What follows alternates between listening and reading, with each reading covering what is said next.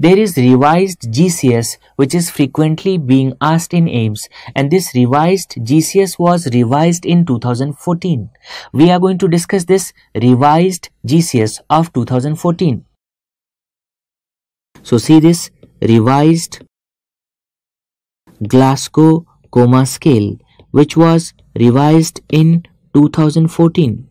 So there are three components. First, eye opening. First is eye opening.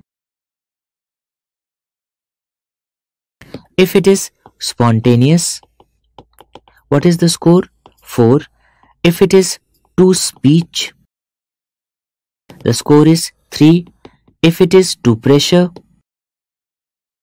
it is 2 and there is no opening so none 1 after that second is verbal response. Verbal verbal response. Now see if patient appears oriented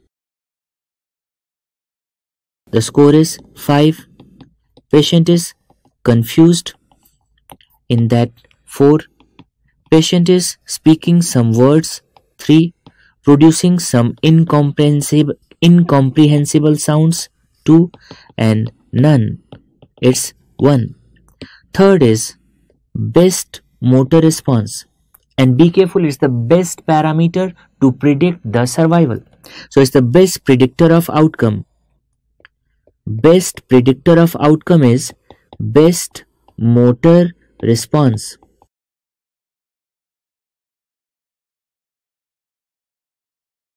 Here, obeying commands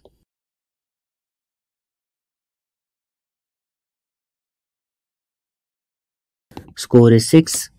Localizing pain.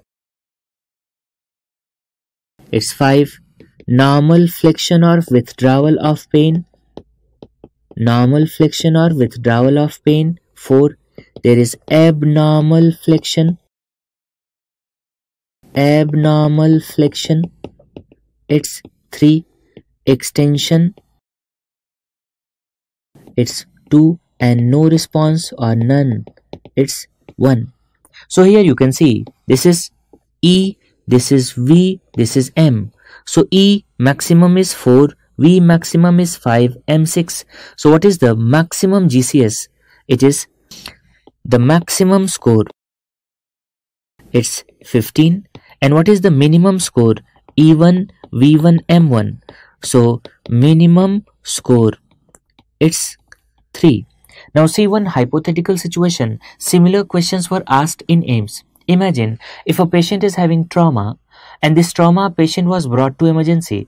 At the time of presentation, the patient was having spontaneous eye opening, but patient was having tracheostomy. There was tracheostomy and patient was localizing the pain in left upper limb, not able to move the right upper limb. So first, spontaneous eye opening means score is 4. This patient is having tracheostomy. So what verbal response is? Non-testable. Verbal response is non-testable and in right upper limb patient is not able to move the limb. Might be because of fracture. But best motor response. So in left upper limb since patient is localizing pain it is 5. So what will be the score? You can see E4 VNT M5.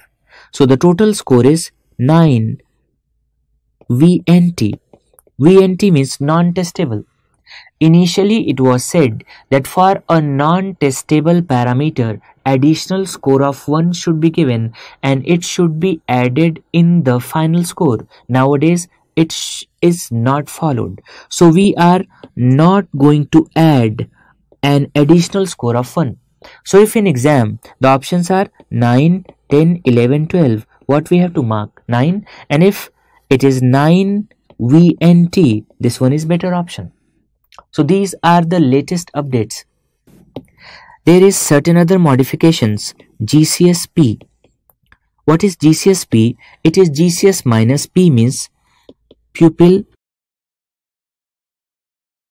reactivity score.